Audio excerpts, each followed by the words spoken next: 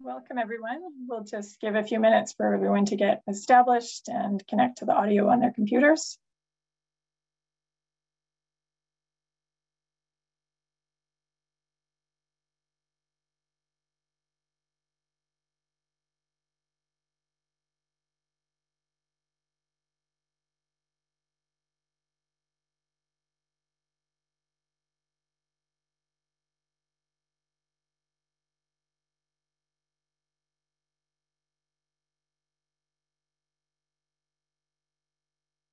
Welcome everyone. I see there's still a few people logging in, so I'll give it another 30 seconds.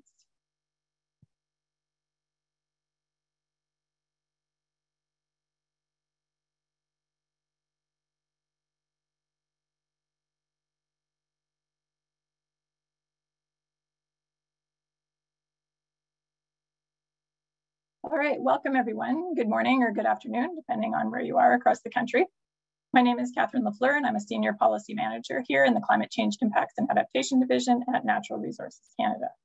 I'm on the line with you today with a few colleagues, uh, Nikki, who you can see on the screen, as well as Kate and Dominique, who will be joining us for the Q&A session.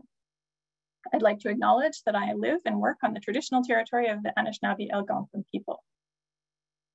The objectives of our session today are to learn about the key elements of the climate change adaptation program's call for proposals.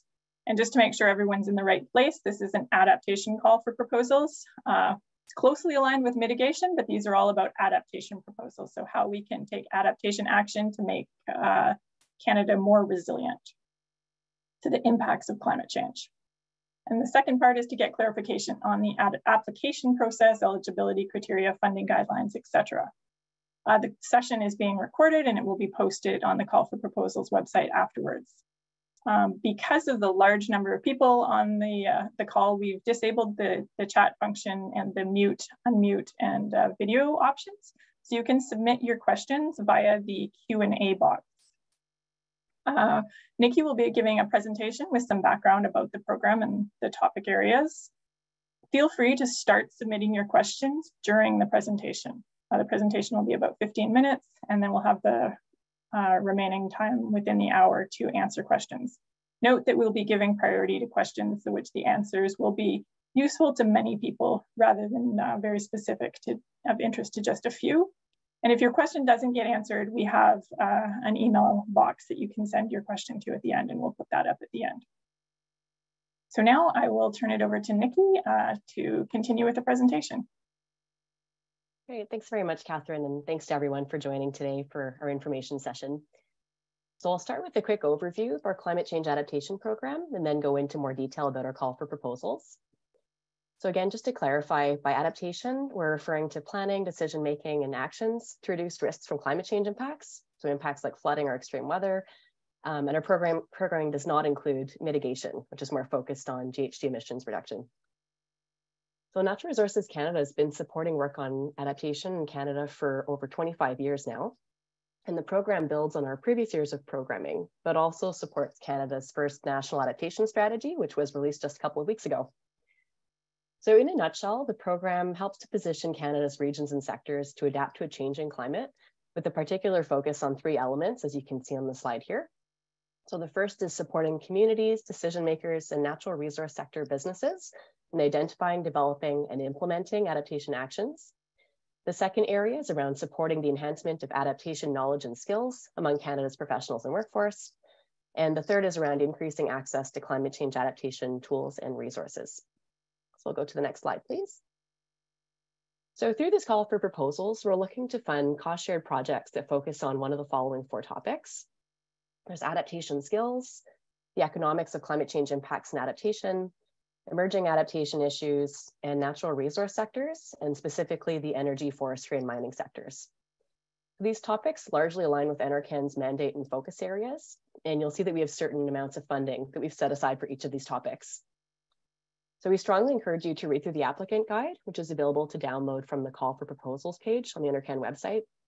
In the guide, you'll find a lot more detail about the types of projects that we're interested in funding under each of these four topics. As Catherine mentioned, though, we won't go through that level of detail in today's information session because we really want to leave more time to get to questions after the presentation. Go to the next slide, please. So I'll speak a bit about our review process. Um, the applications will be reviewed by staff within the Climate Change Impacts and Adaptation Division at NRCan, and we'll be referring to five equally weighted review criteria, which I'll just briefly summarize. And again, we would encourage you to review the applicant guide where you can find a lot more detailed information about each of these criteria. So the first criterion assesses the overall scope of the project and what it hopes to achieve. So your proposed, sorry, your proposed project should align with at least one of the funding topics that I mentioned on the previous slide, and the project objectives really need to be clearly outlined. The intended audiences should be clearly defined and appropriate for the scope of work that you're proposing.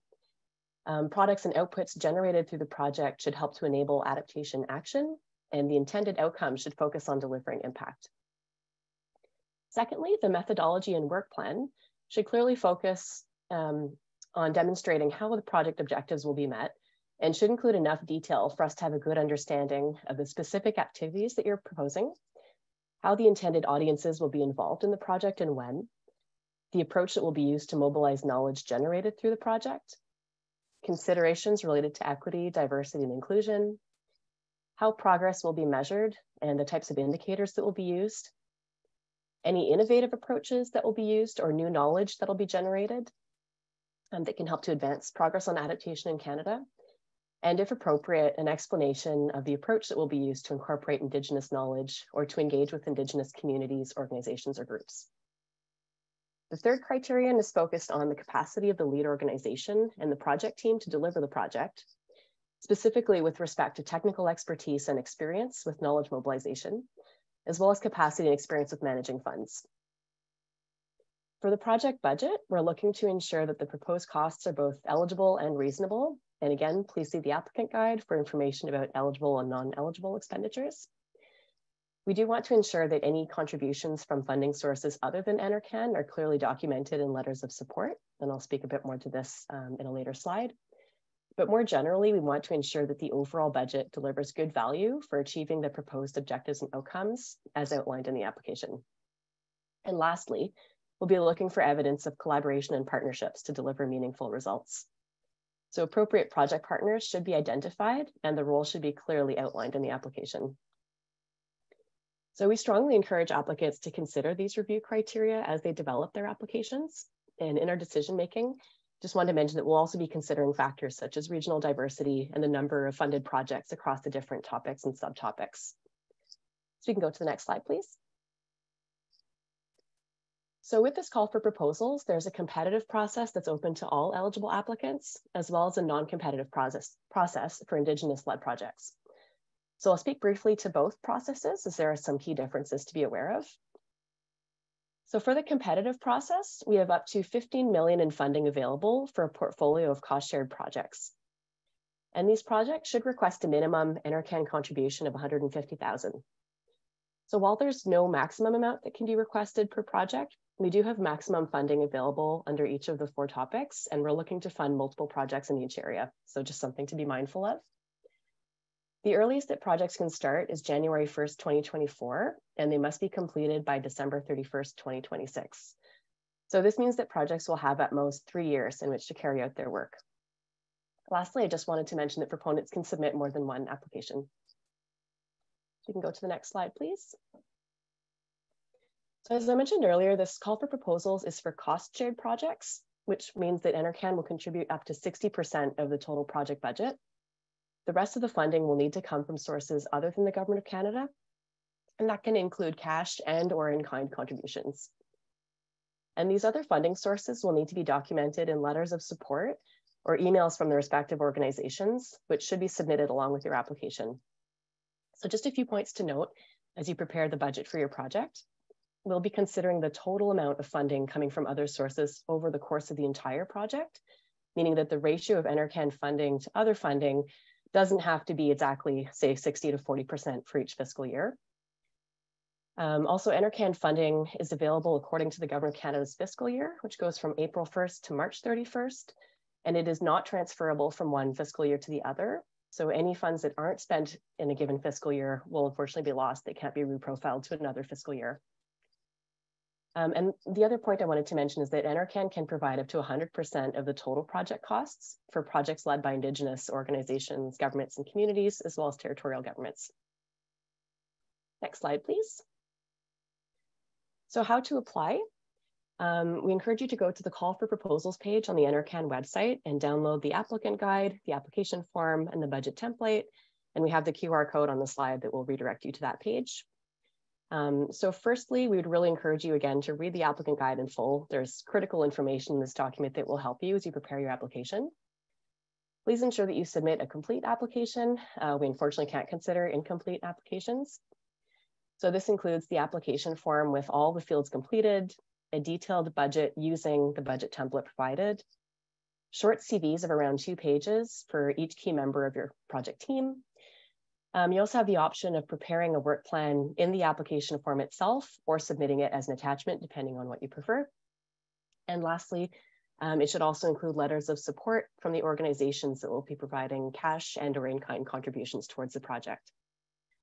So please take note of the deadline, September 22nd at midnight Eastern time.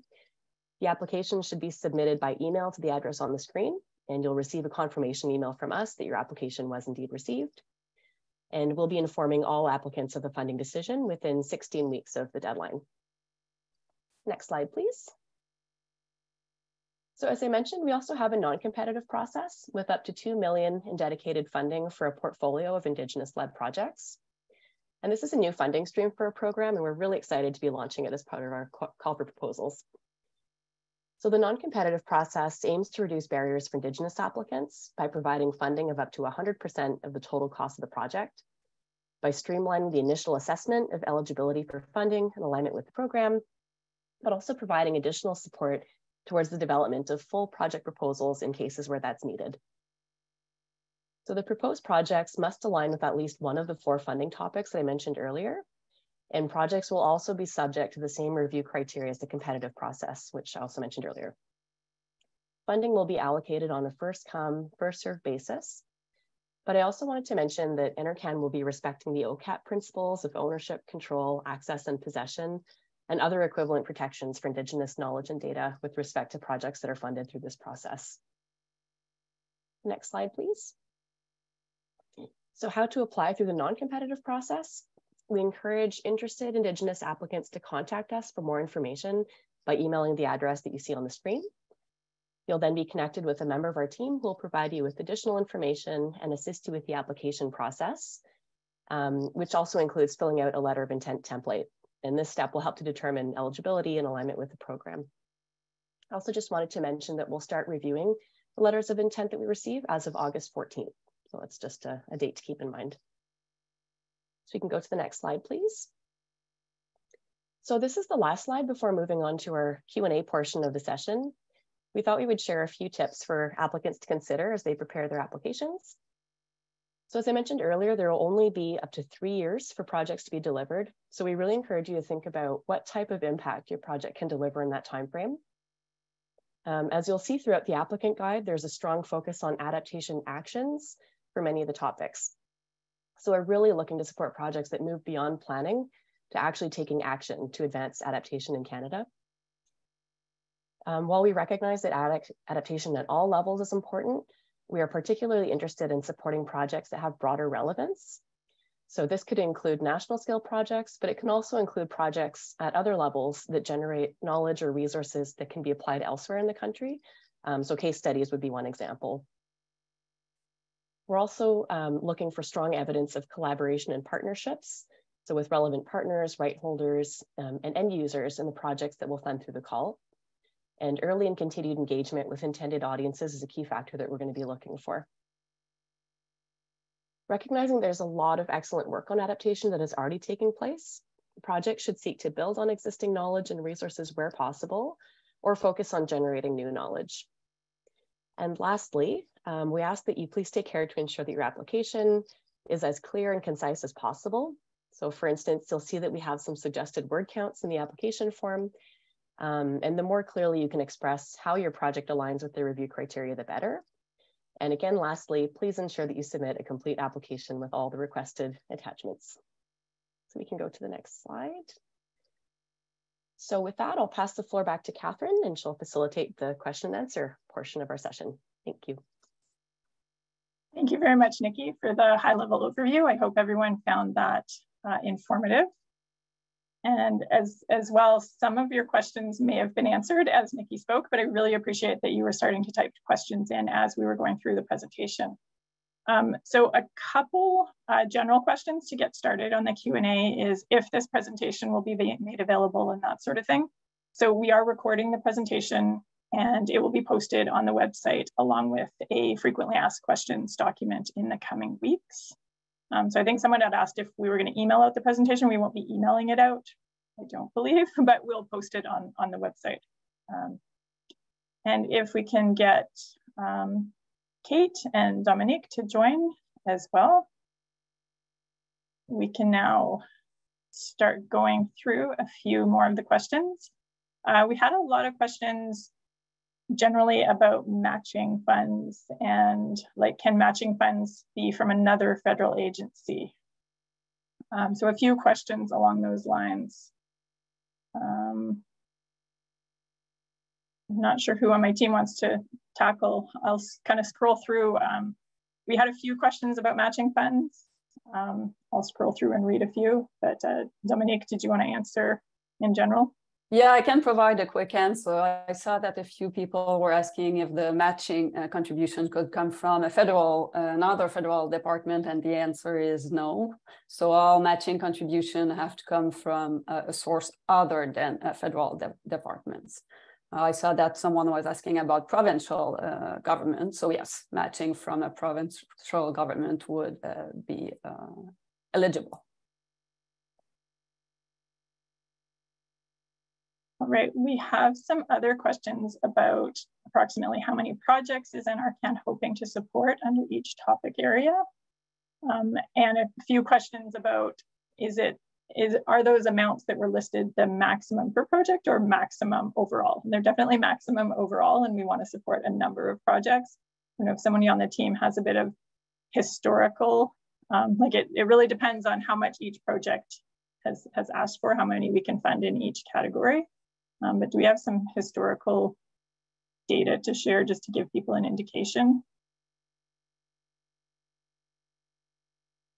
Go I'll ahead. take this one, Catherine.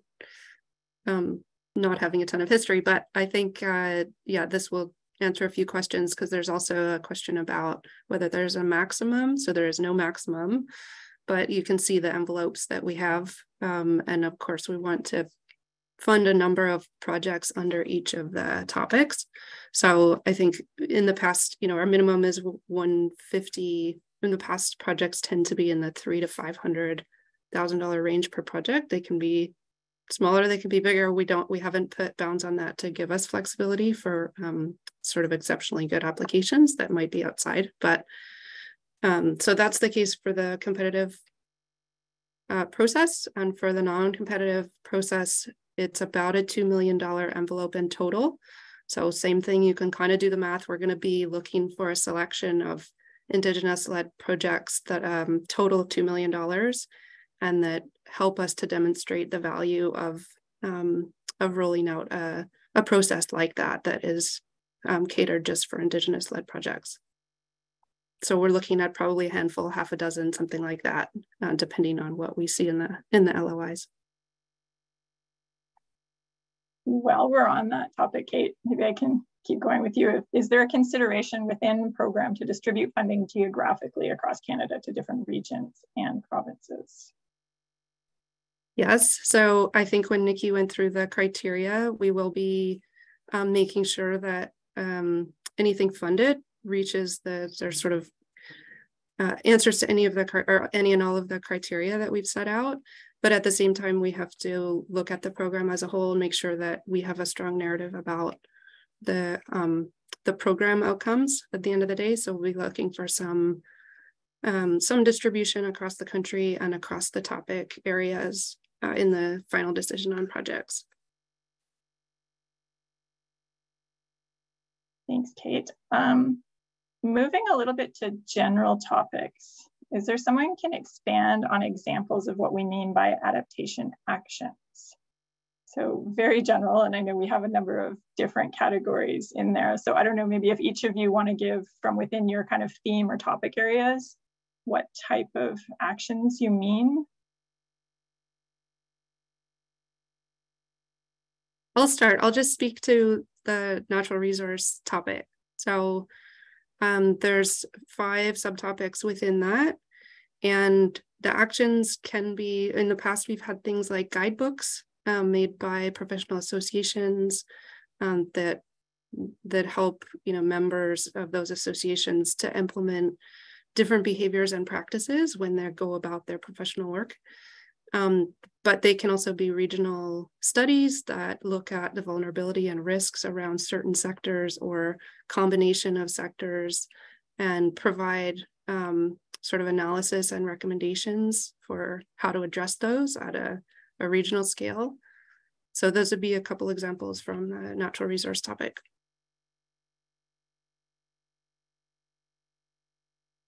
Does anyone else want to jump in on some examples? Dominique, go ahead. Yeah, I can speak a bit about uh, the um, adaptation skills topic. Of course, it's a bit it's a bit different than the uh, natural resources um, sector topic. But for example, um, and you'll find a few examples also in the applicant guide, but we have uh, adapting existing training resources and tools to ensure that the adaptation skills and need uh, within one or more professions uh, are met. So developing some uh, tools to make it more uh, accessible, uh, developing business cases for enhance enhancing adaptation knowledge and skills, we also have for other another example, uh, integrating and mainstreaming climate change adaptation knowledge and skills into uh, professional professional development or post secondary education. So these are a bit uh, different, but yet few examples uh, for the skills, and you can find more again in the uh, guidance document.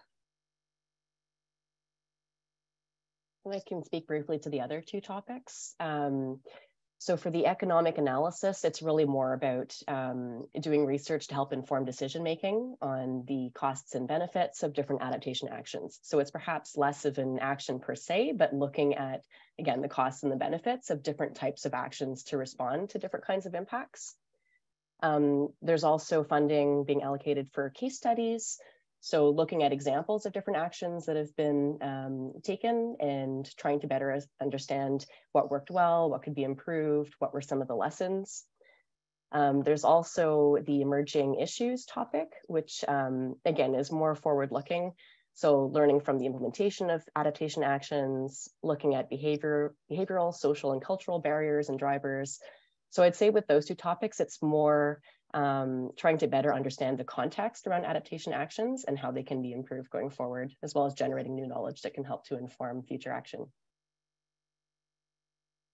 Great, thanks everyone. So now, oh, you want to add something else, Kate? Go ahead. Yeah, I just see that there's also a question specific to examples for the Indigenous product projects that would qualify. And so I'll just maybe use that as a um, a way to say that the the non-competitive indigenous-led process is really a different process, but the program remains the same. So the evaluation criteria and the topics are common. Um, there's no difference between them for between the competitive and the non-competitive uh, streams or processes. So the, the kinds of projects that we've just described are the same that would apply to indigenous-led um, projects as well maybe I'll just make one more point, which is that this, as Nikki said, it's the first time that we've dedicated funding for Indigenous led projects.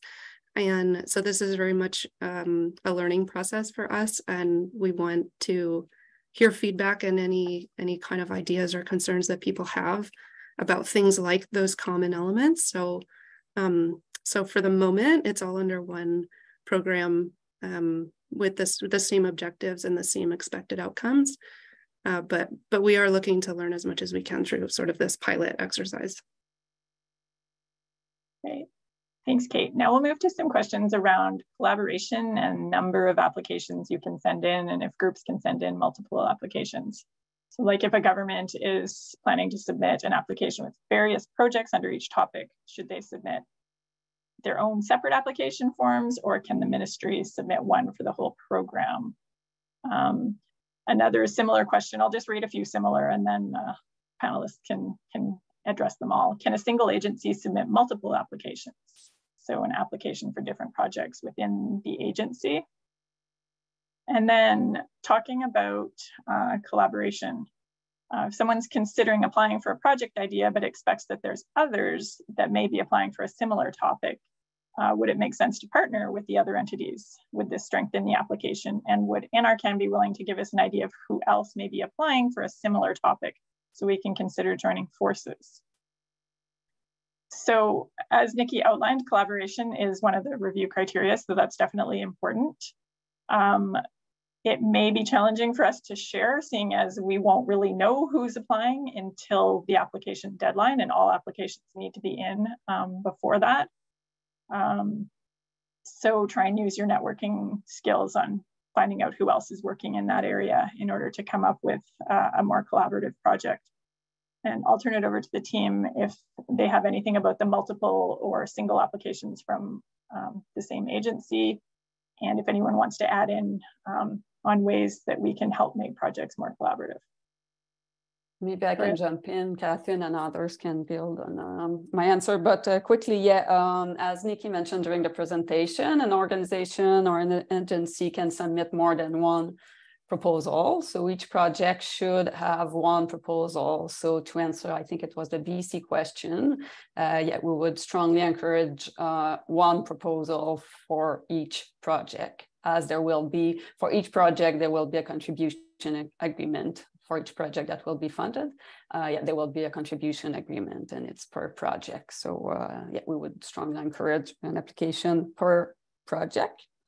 And uh, yeah, can submit more than one project for sure across the topics. Doesn't have to be, of course, in the same topic, but can be a, a proposal in different topics. And Kate and Nikki, if you have anything to add on this.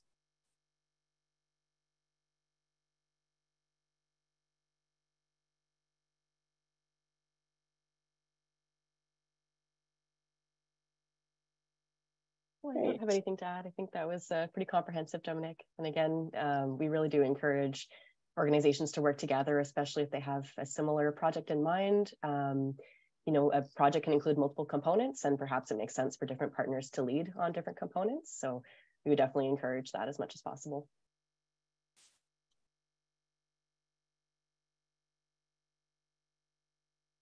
Just uh, scrolling through the questions. We still have quite a few questions in the Q&A box, so thanks for your patience if we haven't got to your question yet. And uh, Catherine, there's one that I can answer quickly, which is around whether there's a deadline for Indigenous funding stream. Um, so no, there's no deadline. That said, it's it's a relatively small amount of money, two million um, envelope, and we're going to basically, if you get in contact with us, we'll send you um, a letter of intent template that just allows us to see a little bit more about your project. We'll have a discussion with you about it to learn, you know, to be able to ask a few questions and learn a little bit more. Um, and we're going to start doing that review on August 14th. So we're we're waiting, we're giving people a few weeks to kind of generate their ideas. And then as of August 14th, we'll start having those discussions and um, sort of nominally allocating uh, money out. So not we're not committing anything because we still need to go through a full application um, process with each of the applicants, but that will be supported um, by members of our team if if needed. Um, but that's the it's a continuous intake, but at some point we are going to have all the money allocated. So we don't want to raise too many expectations that you know in in six or ten months we'll still have money to give out. Thanks, Kate. Um, just scrolling, I see another question about other funding that's referenced in the National Adaptation Strategy, um, such as the coastal resilience and uh, communities. And that will be a separate call for proposal. It is also run by our division, but it will be coming out in the fall.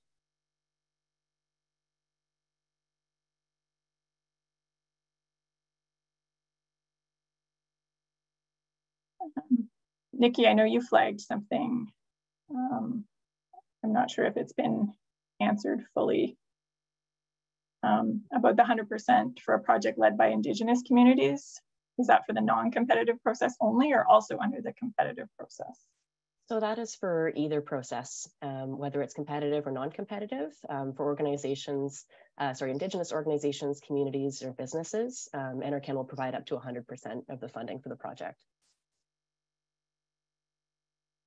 Thanks, Nikki. Another quick question. Uh, do you anticipate future calls for applications to this fund? Or do you anticipate this will be the only intake? So this is the only intake for the climate change adaptation um, program. But like I said, the climate resilient coastal communities uh, call for proposals will be coming out in the fall through our division as well.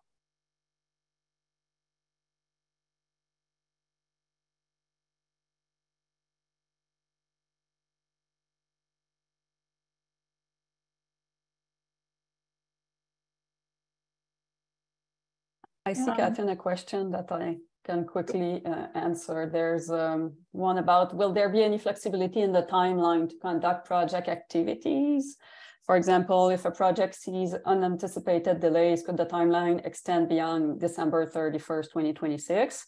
Uh, unfortunately, I have to answer no, because the climate change adaptation program ends in uh, March 2027. So there's no option for us to extend. Uh, December 2026 is really for us to wrap up the projects, uh, process the last payments and all the administrative um, tasks related to your project. So uh, yeah, for now, for now, uh, there was no um, flexibility to extend that date.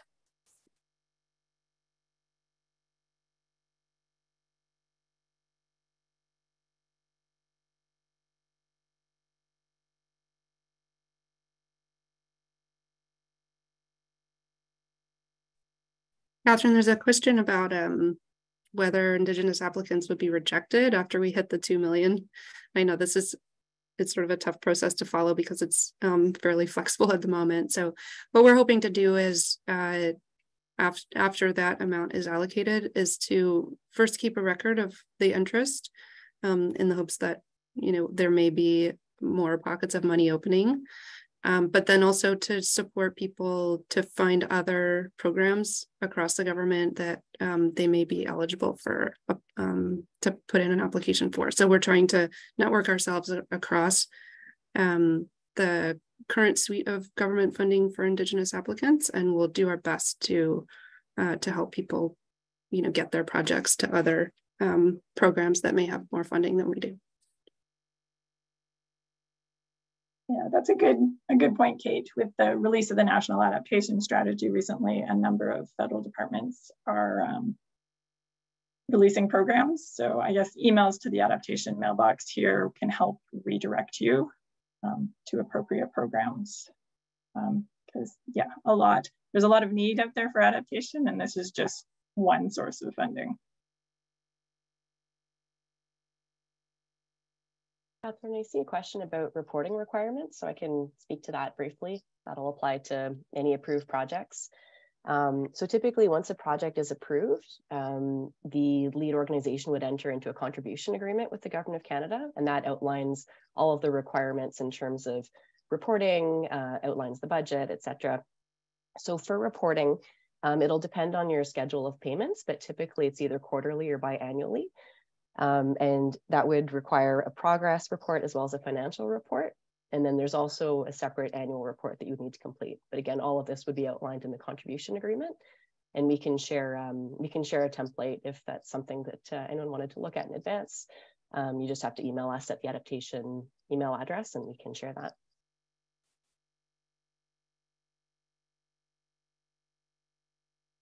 Um, we have a question about previous projects. Um, can we see what projects were previously funded under this program? Go yeah, Catherine, I think we have two, uh, maybe, I think I saw two questions related to that. Um, yeah, unfortunately, our web page is not that uh, up to date. But if you go on the uh, climate change adaptation platform, you will have access to projects that were funded, not the last round, but the round before. So they were um, uh, organized by uh, working group outcomes, so by the topics. So there are some in agriculture, biodiversity, so the topics were a bit different, but you'll have access uh, there uh, on, on pro two projects that were funded previously in other programs. I'm not sure if I can add the link somewhere, but if not, we'll uh, make sure we include it in the FAQ uh, document we'll post online. Great. I have another question about impacts of projects and kind of factors that we're taking into consideration. Um, so can you explain to the applicants what factors NRCan has, if any, in terms of assessing the potential of projects to have Canada-wide impact? More foundationally, is that the de facto expectation from NRCan that projects should have nationwide benefit? Um, maybe a few of you can, can chime in on this one. I'll start on that. And this is this is a, a very good question because it's a top of topic of internal discussion as well of how we um, sort of uh, scope and describe our ambitions on this. So, and I'm actually going to steal from Al Douglas, who said to me recently that you know what we need is speed and scale. So, from our perspective, um, we need to accelerate people mainstreaming adaptation into their everyday decision making and lives. Uh, and we need to do it at a broad scale. It sort of needs to be across the board. So um, Nikki spoke to, you know, our piece in this is related to NRCan mandate and, um, you know, to some extent the NAS uh, economy and workers system, which frames out some of our objectives quite well, I think. Um, so the work adaptation can be done locally, of course, and um, and regionally. But what we want to do is make sure that the lessons are learned that help other people in other places in the country accelerate their adoption of adaptation actions. So even if the the implementation work itself is is more localized or more regional, um, we do want to encourage uh, work that that gets the word out there and helps others to uh, to adapt at scale and more quickly. So that's how I would frame up my answer, but my colleagues may have a different way of answering that. Does anyone else want to weigh in on that one? I think that's a, that was a good way of framing it, Kate. Um, the only thing I would add is that it probably depends on the particular topic and subtopic that you're applying to. Um, obviously, some of the subtopics wouldn't uh, have the same national consideration. Um, and case studies, again, would be a perfect example. There might be a highly localized case study, but lessons from that work would be applicable to other areas across the country. Um, so again, we'll be, we'll be taking all of that into consideration as we review the applications and the proposed ideas. Great. I have a couple of questions coming your way, Dominique. Um, a quick one, does in-kind contribution include staff time commitment? And then another one related to skills. So are the projects under the adaptation skills category focused only on natural resource sectors? Yeah, maybe I can start with the first one. And I see that there's another question uh, about matching. Can you elaborate more on the 40% funding that needs to be from other funding than the government of Canada? Any restriction cash versus in kind? So maybe uh, I would also encourage you to go back to the uh, adaptation to the applicant guide for more information. But uh, no, there's no restriction of cash versus in kind. So both are considered as matching contribution. And uh, under matching contribution, um, yes, it can be staff time paid from non-federal sources, but it also uh, can include uh, things like time of presenters, free use of a meeting space and things like that. So uh, that would be considered as matching contribution, as long as, again, uh, the matching contribution are supported in letters of support. And you can have, uh, again, more information in the, in the guidance document. And uh, Catherine, I believe the other question was on the um, on skills. So um, if you go to the Annex A of the guidance documents, you'll see that it's not only the skills, adaptation skills topic is not only targeting uh, natural resources sectors workforce, but it's also targeting um, uh, professionals. So professionals that are well positioned to play a, a, role in climate change adaptation. And we do include, uh, for example, engineering, uh, engineers, planners, landscape architects, accountants, and um, related professions. So not only, again, related to natural resources sectors. Thanks, Dominique. we have some more questions um, on the Indigenous application and different processes.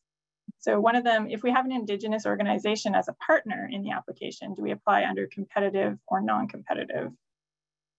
And then I'm just scrolling, but I think there was another one about can, um, like can somebody else hire, like maybe a consultant apply on behalf of an Indigenous applicant?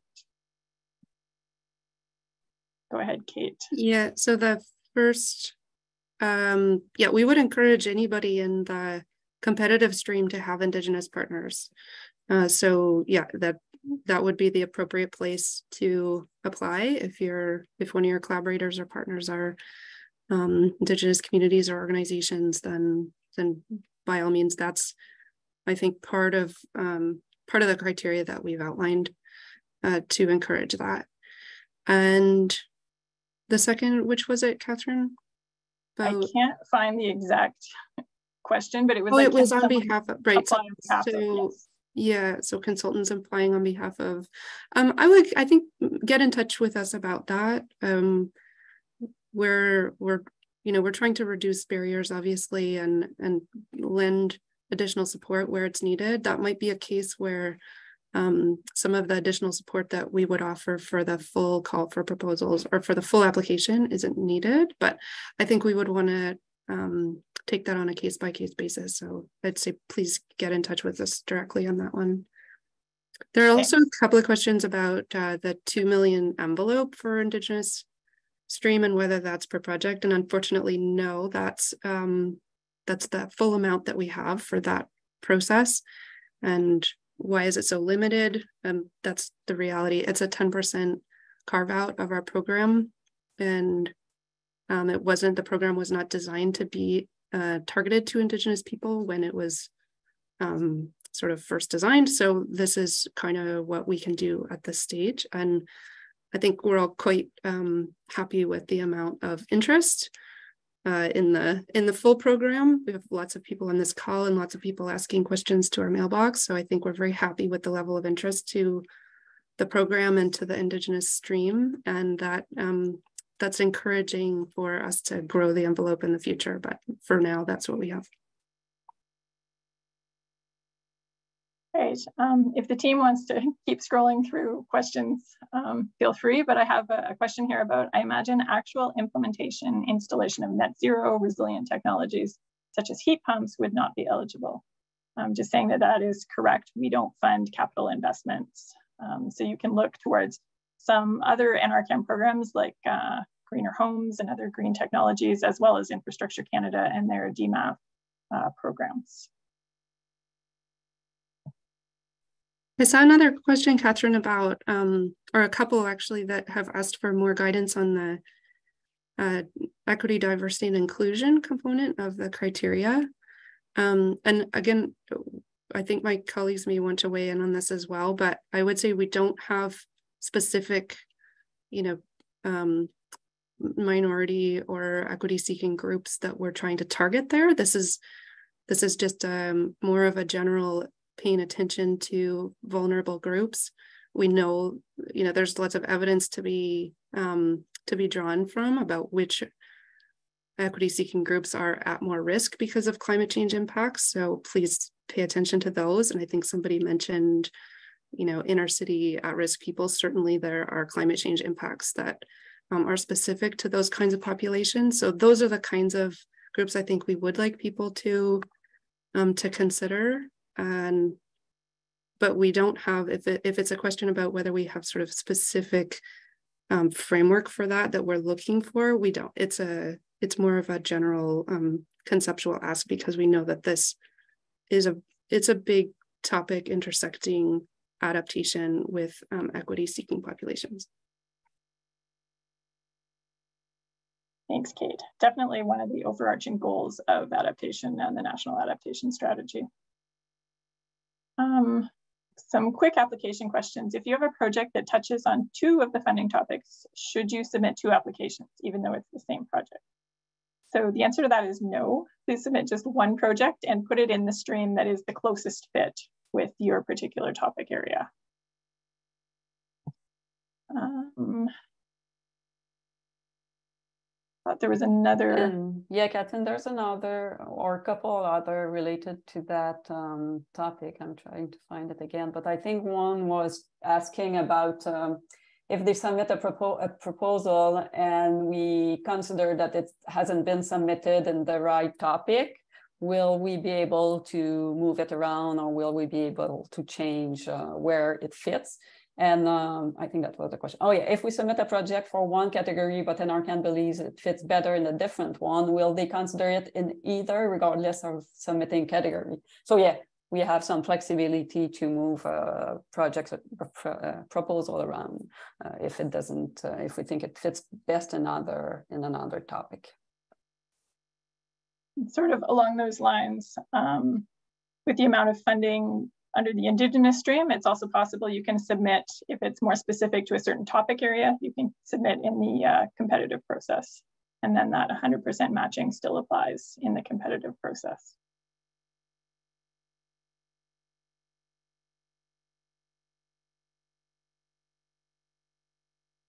Catherine, there are a couple questions I see here that I can answer pretty quickly. Um, one person was asking whether um, an organization that's applying can provide matching funding themselves.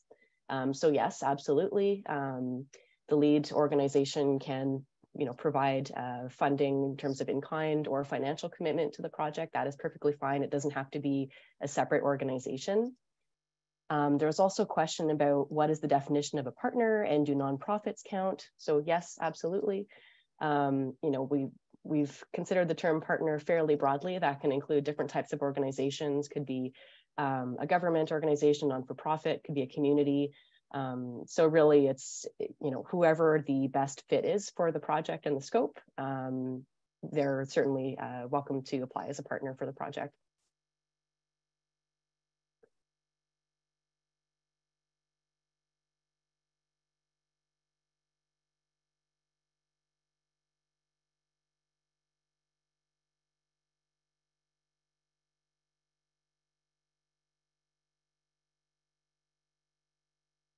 I'm just noticing there's a lot of questions on um, specific topics, and we probably won't have time to get to all of those, but please feel free to submit those to the, to the adaptation email address, and we'll put the address up again at the end of the presentation.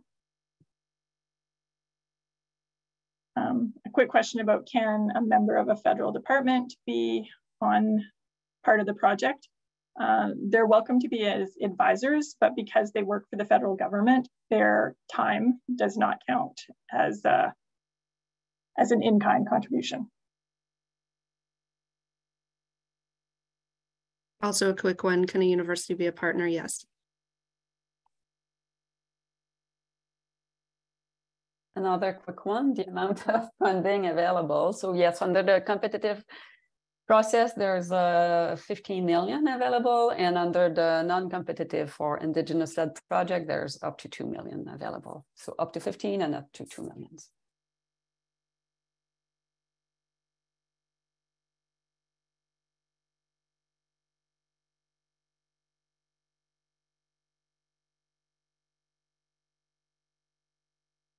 I think we have a question about budget um, maybe if the submission can be in tiers um, in terms of something with a specific scope and then additional optional items.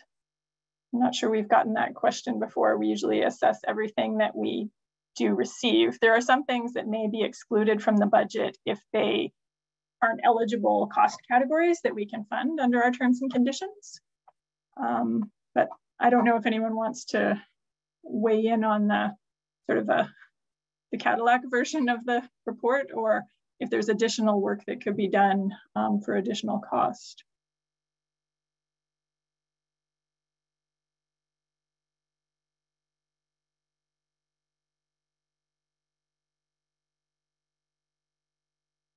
that's that's a good question. I'm not sure that we've really encountered that um, in previous calls. I think our preference would be to have um, the scope clearly outlined in the application form of what's being proposed with the budget for those specific activities. Um, obviously within the context of the eligible costs outlined in the applicant guide. Um, but that is that is typically what we've done in the past, and I think what be we would be looking for for applications under this call.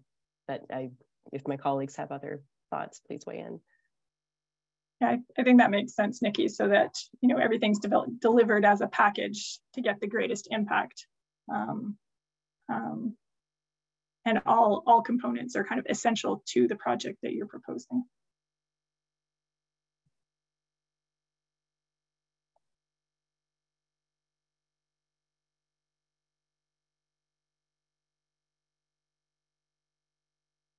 There have been a couple questions about, you know, sharing um, the people that are involved in this call and that sort of thing. And I believe we have, you know, privacy restrictions that that unfortunately don't allow us to do that. Um,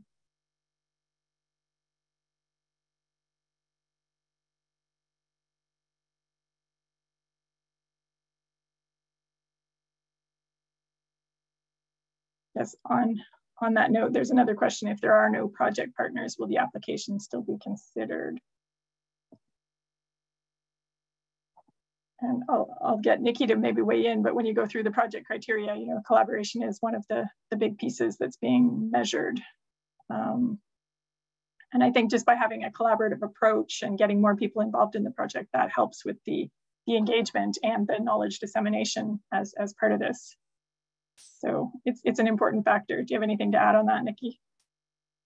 Yeah, I, again, I would just say that it probably depends on the specific project and which subtopic um, you're applying under, but generally can, uh, collaboration partnerships are encouraged.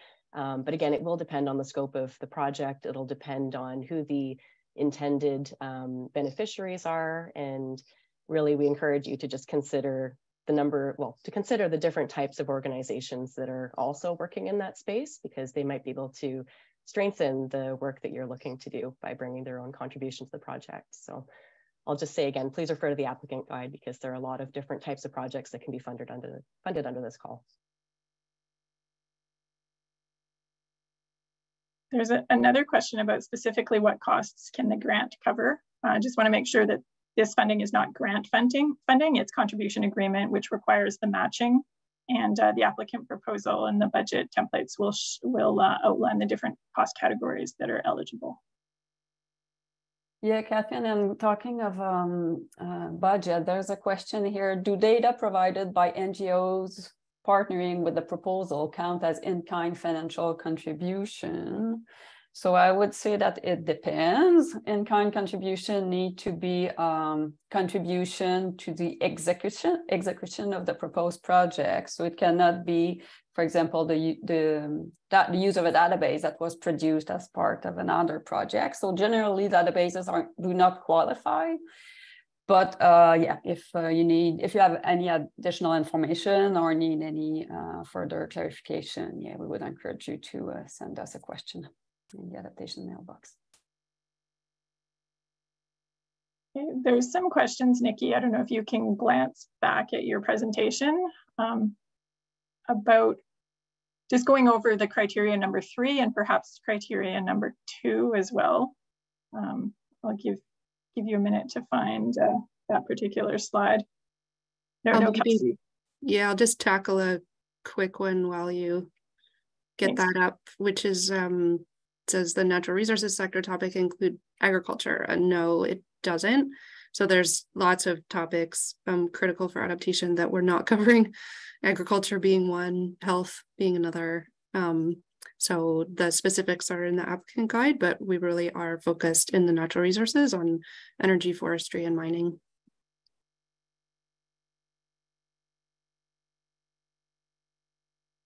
Just pulling up the slides and uh, we'll go to the criteria slide.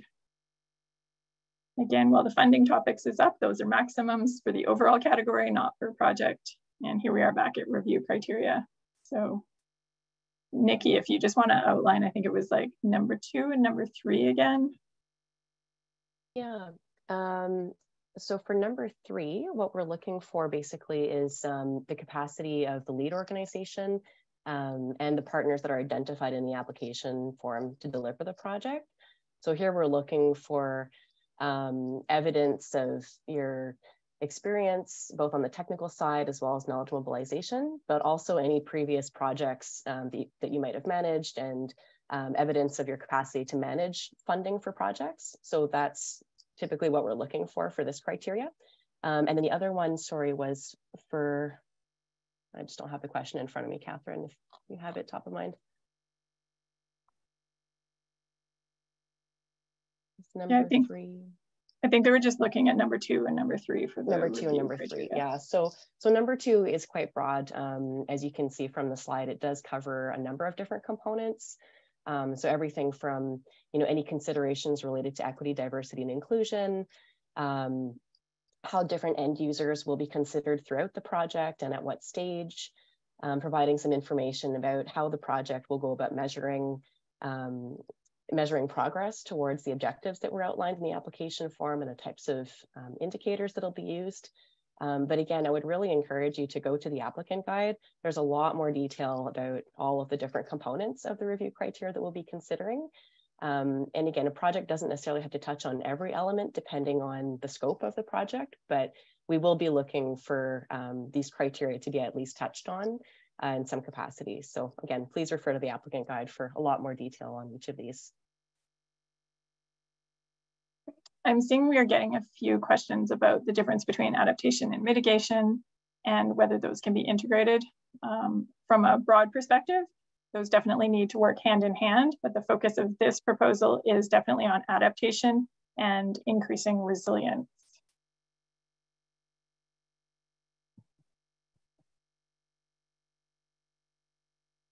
I don't know if the team has, I see we're coming up to the end of the hour here. I don't know if the team has any questions that they have flagged and I can't see them right now. Um, feel free to jump in.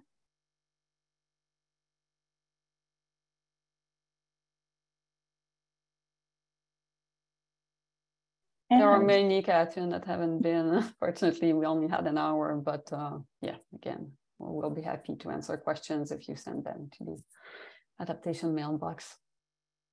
Yes, so we have, um, we've answered as, as many as we can. We really appreciate your patience and your participation in uh, sharing uh, your questions. Um, feel free to reach out to your networks and collaborate to come up with these proposals.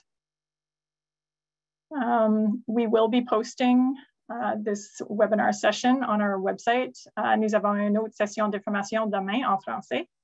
So once uh, the two have been uh, completed and we compile uh, the frequently asked questions, that will be posted on the website in the coming weeks. Um, we look forward to receiving your applications. And like we said, feel free to send your questions. I know some of you put your questions in anonymously into the box. So if you want an answer and we didn't get to it today, please send it to the mailbox so that we can reply. And uh, even if you did put your name on the question, we don't have an email address that's associated with that. So if we didn't get to your question and it's still outstanding after the webinar, please uh, submit it to the uh, email address that you see there on the screen. So thank you very much for your participation, everyone, and uh, enjoy the rest of your day.